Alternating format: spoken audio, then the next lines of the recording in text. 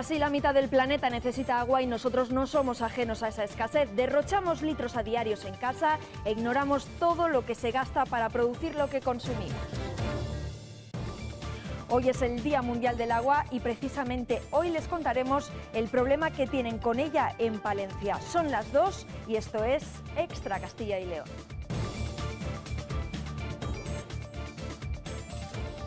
Cuatro encapuchados asaltan de noche un hotel de Burgos y le dan una paliza al recepcionista para llevarse 500 euros. Hace cinco días sucedió lo mismo en un hotel de Salamanca.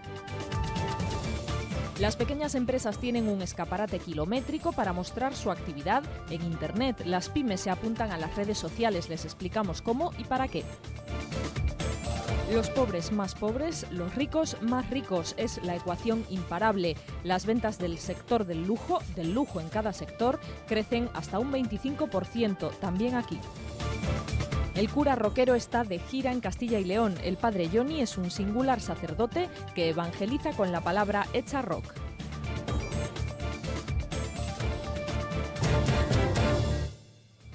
Insípida, incolora e inodora son las tres cualidades que siempre nos han dicho que tiene que tener el agua. Pero los vecinos de Palencia comprueban a diario que la suya no cumple con esos requisitos.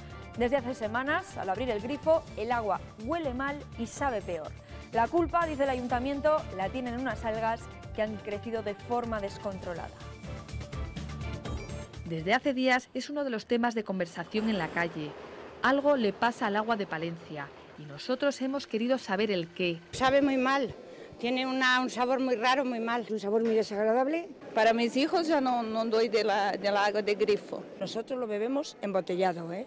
¿No se fía ustedes del agua?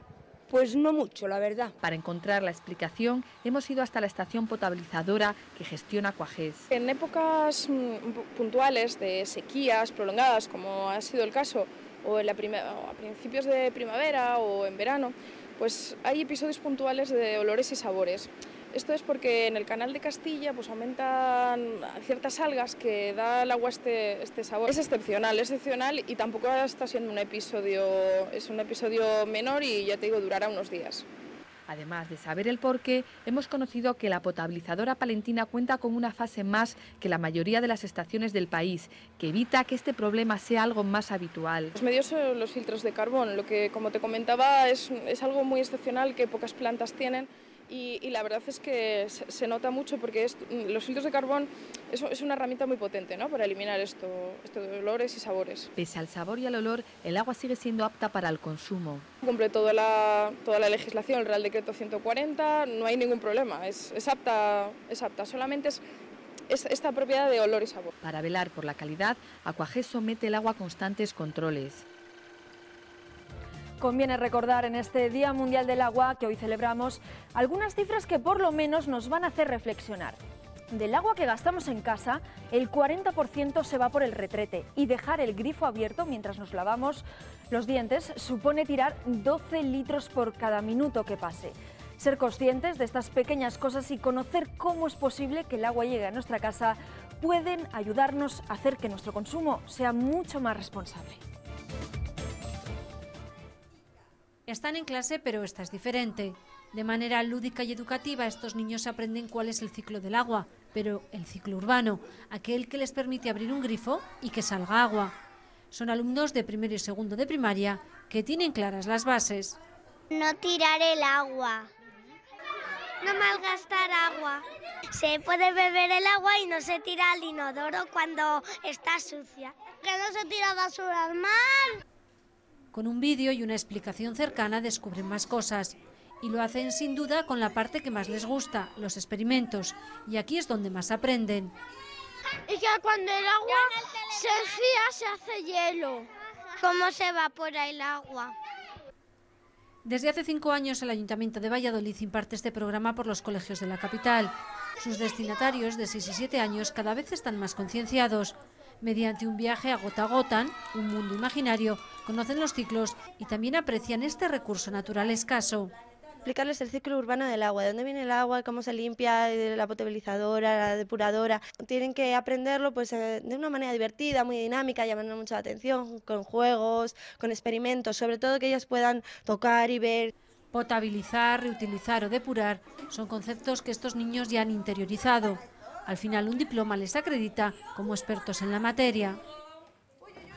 Lo miremos por donde lo miremos, el agua es imprescindible en nuestras vidas.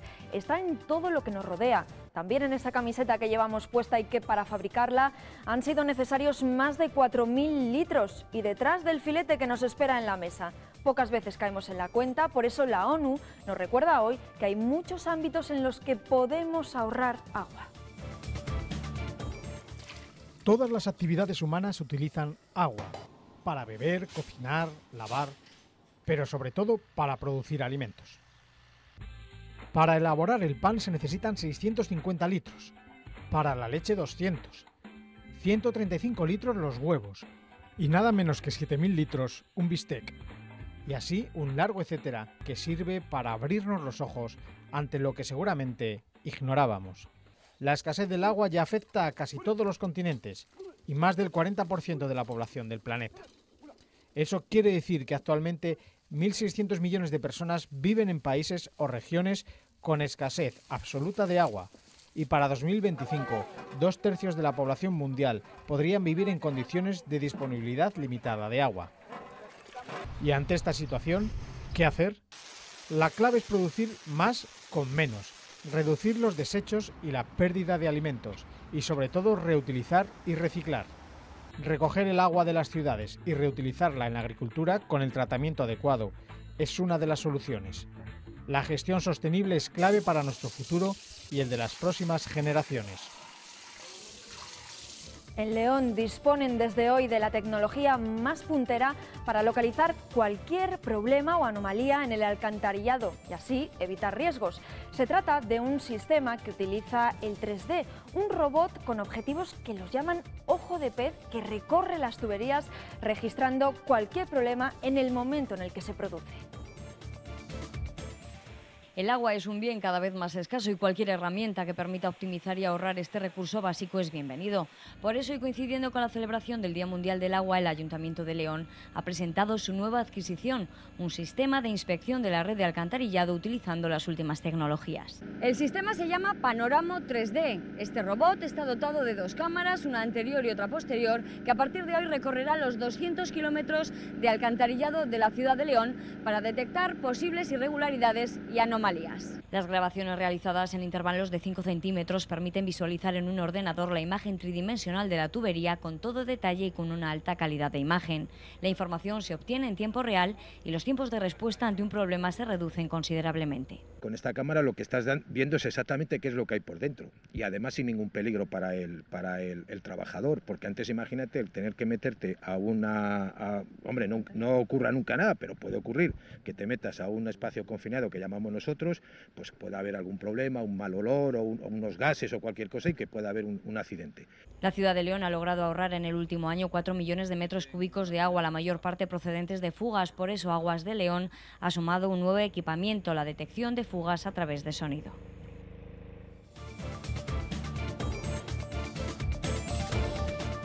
Hoy se inaugura una abadía del siglo XII reconvertida en hotel de superlujo. Podemos disfrutar las comodidades del presente en salones románicos y dormir donde lo hacían los monjes, pero entre algodones. Enseguida se lo enseñamos. La policía busca a los cuatro encapuchados que han asaltado un céntrico hotel de Burgos. Entraron de madrugada, amenazaron y golpearon al recepcionista y se llevaron 500 euros en metálico y la caja fuerte. Ese era uno de sus objetivos. Tuvieron que planearlo bien porque no es fácil robar una caja de unos 200 kilos. Pero el golpe no debió salir como ellos esperaban porque en el interior no había nada. Cuatro encapuchados entraron el miércoles a las 4 de la mañana en la recepción de este hotel de la avenida del Cid, una céntrica, calle de Burgos. Ataron y amenazaron con una navaja al recepcionista que tuvo que ser atendido por los facultativos del SACIL por varias contusiones y un fuerte golpe en el pómulo. Los cuatro asaltantes, posiblemente de nacionalidad rumana, tan solo se llevaron 500 euros entre la recaudación del bar y de la recepción. Un botín escaso ya que a los clientes acostumbran a pagar con tarjeta y a pesar de arrastrar una caja fuerte de 200 kilos hasta un vehículo que los esperaba a la entrada del hotel, al abrirla comprobarían que se encontraba vacía. Poder mantener el contacto con los amigos, aunque nos separen miles de kilómetros, fue y es la receta del éxito de Facebook. Claro que hay quienes saben sacarle mucho más partido. Esta red social ha resultado ser tan eficaz como la policía. Que se lo pregunten a un vecino de León que en menos de tres horas, y gracias a Facebook, encontró la furgoneta que le habían robado. Este es el mensaje que Alfredo colgó en su cuenta de Facebook. Furgoneta robada con vaca y gancho de remolque. Si la ves, avísanos. Fue el último recurso de estos dos hermanos después de denunciar ante la Policía Nacional el robo del vehículo que utilizan para reformas de albañilería. Los ladrones la sustrajeron de esta nave. Bueno, pues queda la denuncia, si la vemos o paramos en un control sabemos que está robada, no fue mucho más. Y por Twitter me decía la gente, ponnos la matrícula, a ver si la vemos alguno. Entonces, pues, pues, no tenía ni foto, tuve que ir a Google Street View que sabía dónde estaba la foto, la puse con la matrícula y entonces ya sí, la compartí en cinco redes sociales, creo. Inmediatamente lo compartieron decenas de personas, un movimiento de rastreo que acabó localizando la furgoneta aparcada a poca distancia de donde la habían robado. Los que la han encontrado, como los que repitieron esa foto, contactos directos míos eran pocos. Eran contactos de contactos de contactos. Pero es una cosa que bueno, la gente quiso compartir y a ver si la encontramos y apareció. Y no es la primera experiencia de este albañil con las redes sociales. Hace unos meses ya descubrió en Facebook varios errores de seguridad. No perjudica a nadie, sino que nos beneficia. Oye, que me han robado el coche y entre todos lo buscamos. Es otra utilidad de las redes sociales sin, sin que haya un dinero detrás. Una colaboración ciudadana que recompensarán invitando unas cervezas a sus nuevos amigos de Facebook. Es solo un ejemplo de cómo las redes sociales han cambiado nuestras relaciones. En estas plataformas los ciudadanos ya pueden tratar de tú a tú a empresas o a gobiernos o incluso movilizarse por alguna causa como esa. De todo esto hablan hoy en Burgos, donde ha comenzado el segundo Congreso Iberoamericano de Redes Sociales.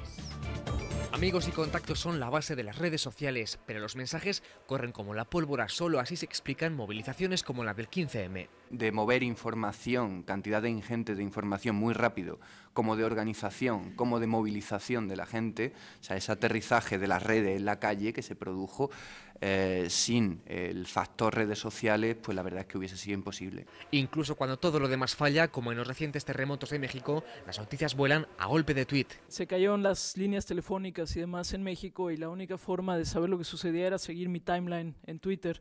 Y si de todo esto son capaces las redes sociales, ¿por qué no utilizarlas en nuestro negocio? Y tener acceso a la gente a la que queremos llegar de maneras diferentes que las empresas que están dirigidas por gente que no está activamente en las redes sociales y que cuando quiere comunicar algo tiene que contratar una agencia de relaciones públicas o tiene que hacer mucha publicidad en los medios para que su mensaje llegue. Lo dice el fundador de Yastel y ya.com, pero empresas más modestas también pueden tirar de Twitter, aunque el 75% de las pymes aún no está en redes sociales. Hubo un tiempo en el que manuscritos como estos eran la única manera de difundir las ideas. Hoy es casi obligado que las empresas difundan las suyas en las redes sociales somos eh, capaces de llegar de manera mucho más cercana al cliente, escucharle sobre todo. Les hemos encontrado un canal de, de, escucha de nuestro cliente ante reclamaciones, quejas, sugerencias también y sobre nuevas vías de innovar y mejorar el producto o los servicios que, que ofrecemos. La crisis lleva a muchas empresas a usar redes sociales porque son baratas, un mundo virtual donde hay poco que perder y mucho que ganar. Gracias a, la red de redes, las empresas han encontrado un filón. Hay muchas empresas, sobre todo pequeños negocios, que han encontrado en Internet una oportunidad para reinventarse y para dar un giro a sus ventas de 180 grados.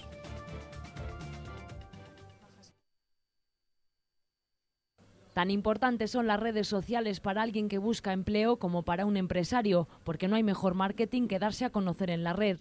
Lo saben bien en esta empresa vallisoletana de muebles de cocina. Utilizan Facebook, Twitter, LinkedIn o Google Plus. Nuestra marca tiene mucha más notoriedad y la relación con el cliente ha mejorado bastante en el sentido de que nos comunicamos más con él, comunicamos de una manera más directa, más, más rápida más fácil y el cliente pues, tiene información mucho más actualizada de, las novedades que sacamos al mercado y de, todas las acciones comerciales que, que, llevamos a cabo. Ya notan los resultados y hace tan solo medio año que comenzaron a usar las redes sociales. Saben que es necesario innovar y dedicar tiempo a esta forma de comunicarse con el cliente. La clave está en intentar no centrarte solamente en ti mismo, tienes que dar un valor añadido a nivel de información, no es que le estés bombardeando continuamente con tu producto y tus novedades, sino que le aconsejes, que le des información útil. Otra forma de llegar al cliente y de saber cómo se mueve la competencia. Por eso animan a que otras empresas exploren las posibilidades de las redes sociales. Todas sus ilusiones están puestas en dar clase, sus ilusiones y también su dinero. Los alumnos de Magisterio del campus de Soria están indignados porque van a tener que costearse de su propio bolsillo los desplazamientos a los colegios de la provincia para hacer las prácticas. No hay dinero para esa partida y tampoco plazas suficientes para todos en los colegios de la capital. Ellos se resisten a tener que pagar. Llevan ya dos noches y piensan seguir allí hasta que se reconsidere la situación. Estamos reivindicando pues, pues, nuestros derechos, queremos unas prácticas dignas que no nos están proporcionando. Eh, nos están mandando a pueblos de la provincia dentro de la ley, pero lo que pedimos es una remuneración económica, algo lógico dentro de lo que cabe. Y pues es que no nos están dando ningún apoyo, se supone que la universidad era un apoyo para nosotros y nos sentimos solos en esto. Entonces pues queremos un poco pues, que, que nos respeten y que nos escuchen. Unos cambios que vienen provocados por la nueva imposición de la Junta de Castilla y León, que obliga a los profesores a realizar un curso para poder tutorizar las prácticas de los alumnos.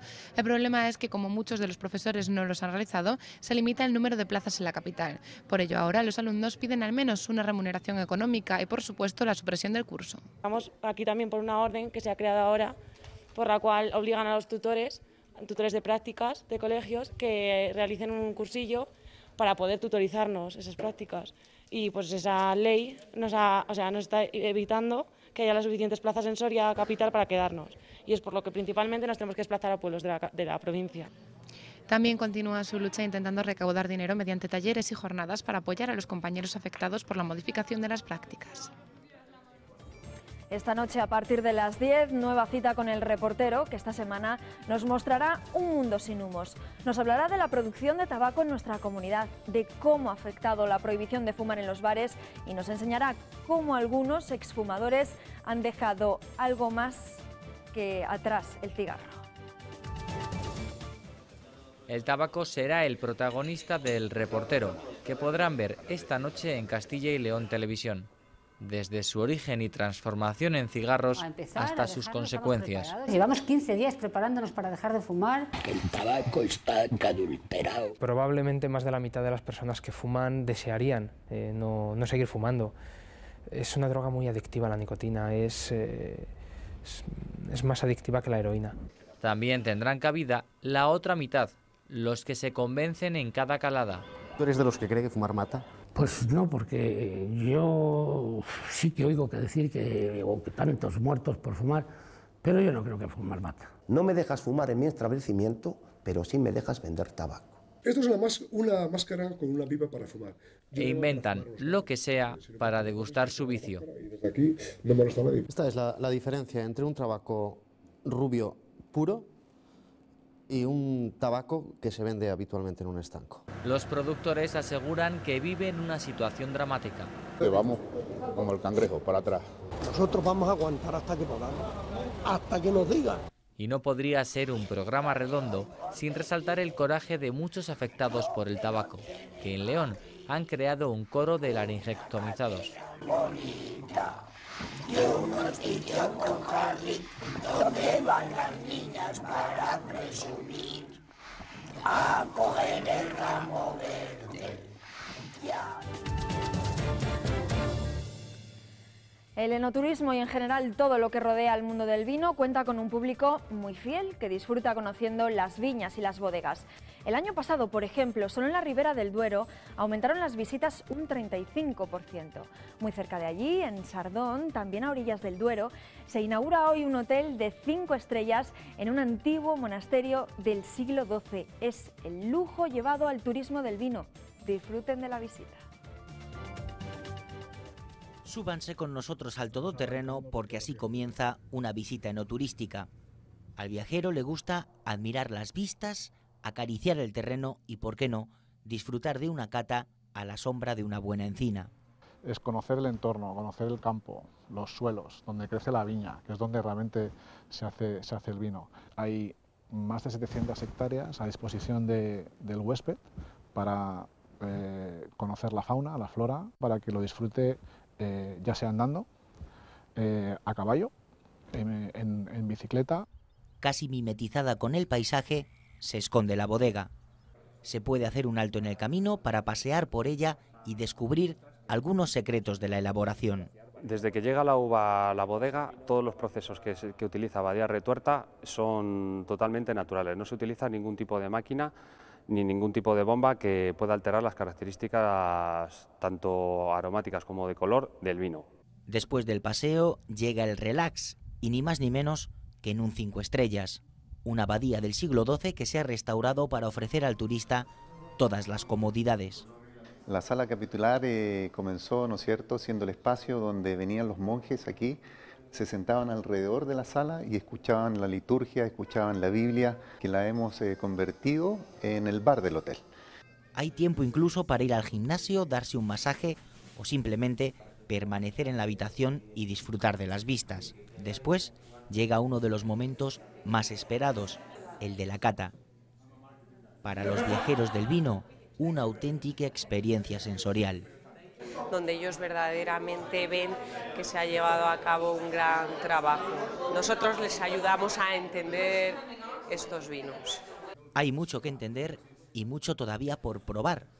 El vino es solo una parte de todo lo que se puede descubrir en nuestra comunidad. Tierra de buenos vinos, sí, pero también de buena mesa.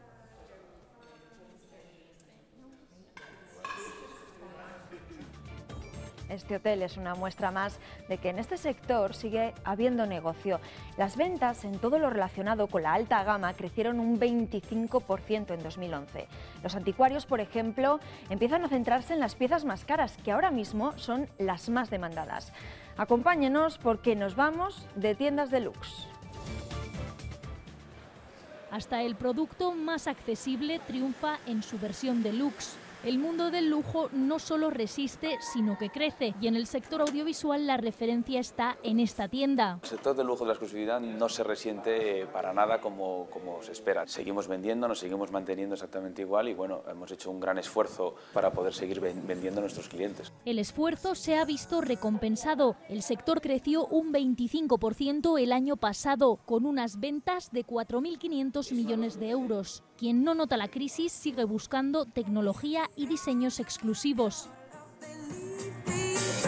Por ejemplo, con este mando táctil podemos controlar las luces de la casa, la televisión y también los aparatos de música y disfrutar de una película en esta tele de 18.000 euros. Aparatos de música puede rondar desde los 2.100 euros aproximadamente y podemos sumar hasta 30.000, 40.000, 50.000, o sea, podemos hacer la cantidad acústica que queramos. Los pies también se visten de alta gama. La marca de calzado artesano Carmina Shoemaker abrió su tienda de Valladolid en plena crisis. Sus modelos cuestan desde 200 hasta 1.000 euros y sus ventas no han bajado. Tardan un mes en hacer un par de zapatos. Toda la horma, la piel, las mejores pieles hechas a mano. Con el cosido Goodyear, que es el mejor cosido que hay para zapatos en el mundo.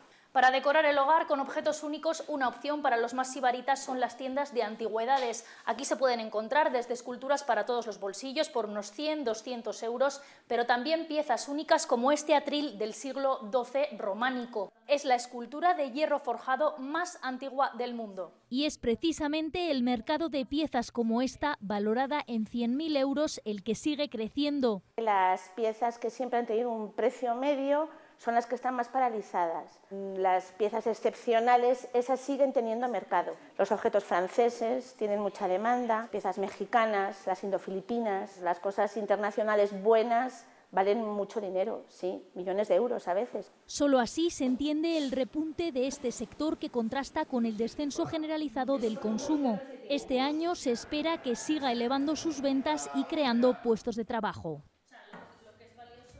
Cuando hablamos de bisutería pensamos en piezas baratas con poco encanto y hechas en serie, pero en Basardilla, un pequeño pueblo de Segovia, se diseñan alhajas de alto copete. Son modelos irrepetibles porque están hechos de uno en uno, a mano y con materiales traídos de lugares remotos. Por eso las revistas de moda se han fijado en esta firma de lujo nacida en el medio rural. En este pueblo segoviano de 100 habitantes, Virginia ha encontrado su Edén creativo Quizá en Madrid, eh, pues entre las prisas, el estrés, los nervios, no hubiera podido. En cambio aquí, pues bajo este cielo de estrellas y estos atardeceres de Castilla y León, pues he podido ir dando forma a, esa creatividad que yo quería plasmar en, en algo.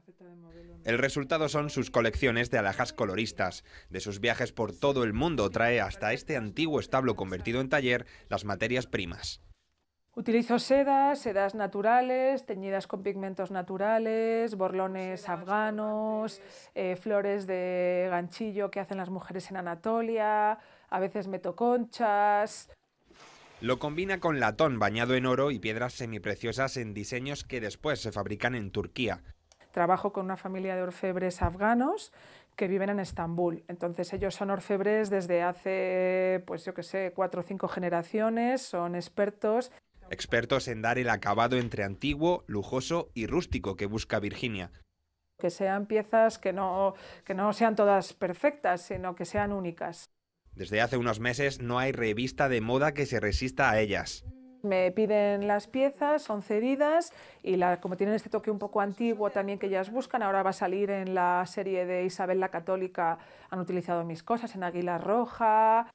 Hasta Alemania, Holanda y Dinamarca llegan sus colecciones artesanas. En España, famosas como Carmen Lomana, Ana Igartiburu o Ana Rosa Quintana también llevan su bisutería de lujo concebida en el medio rural.